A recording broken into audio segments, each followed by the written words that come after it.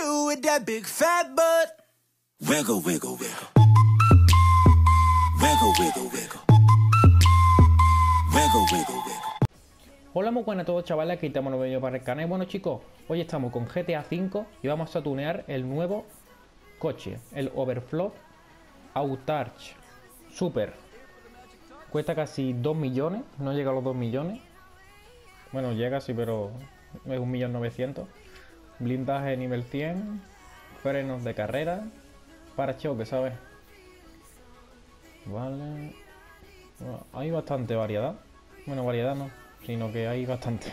Variedad son casi todos iguales, por decirlo. A ver, me ha gustado el GT. Mm, Mira, me ha gustado este, GT secundario.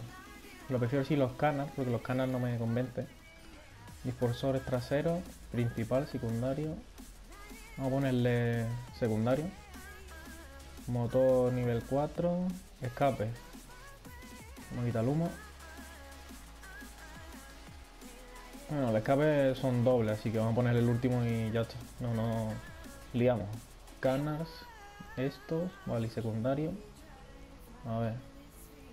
Ah, vale, este. Trasero con rejilla. Capo.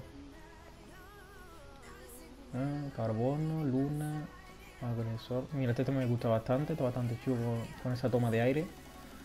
Sí, se lo vamos a poner. Luces de cheno. Pintura. Tenía pensado ponerle un rojo, potencia.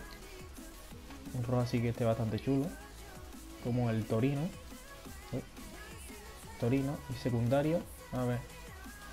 Vale, secundario es el tema todo eso. Pues se lo vamos a poner en negro, ¿eh? Para que quede bastante más bonito. Eh, faldones.